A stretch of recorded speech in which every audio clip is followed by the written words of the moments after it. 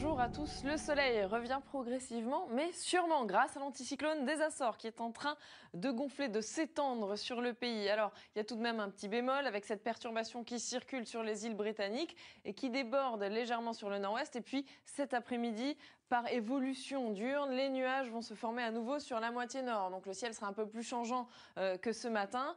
Les nuages encore un petit peu plus nombreux, donc avec la perturbation qui déborde entre la Bretagne et le Cotentin. Quelques petites gouttes de pluie même euh, seront à craindre entre le nord de la Bretagne et le Cotentin. Sur la moitié sud, un beau soleil. Les températures de cet après-midi en légère hausse. On passe 1 degré au-dessus des normales de saison en moyenne. Il fera un peu plus frais tout de même sur le nord-ouest. 18 entre Brest et Cherbourg et la maximale 30 degrés à Montpellier.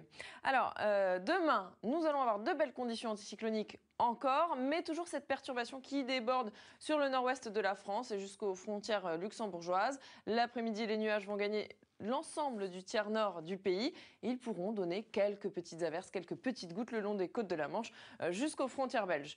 Au sud, un très très beau soleil, même sur le centre hein, du pays.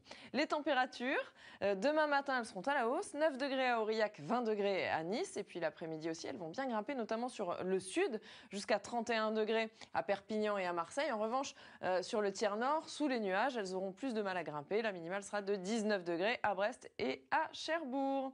Des températures qui vont continuer de grimper jusqu'à vendredi, euh, journée la plus chaude de la semaine. Samedi, les températures seront stationnaires. Et puis vous le voyez, dimanche, la masse d'air va se rafraîchir avec l'arrivée d'une perturbation.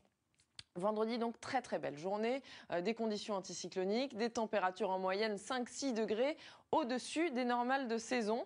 On va conserver à peu près les mêmes températures sur la journée suivante, mais le temps va se dégrader par le sud-ouest avec l'arrivée de quelques orages.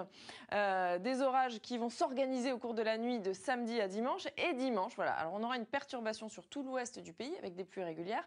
À l'avant, toujours ces orages entre les Pyrénées et le Massif central quelques averses à l'avant de la perturbation. Et puis sur l'est, encore un temps calme et des températures élevées et des orages qui pourront se produire sur les Lundi, nous serons à l'arrière de cette perturbation qui circulera encore sur l'est du pays, mais qui laissera derrière elle donc un ciel de traîne avec de nombreuses averses, un temps plus sec sur les Pyrénées. Et puis à partir de mardi, on retrouvera un temps calme et des conditions beaucoup plus stables. Tout de suite, c'est le journal de 13h. Marie-Sophie Lacaro.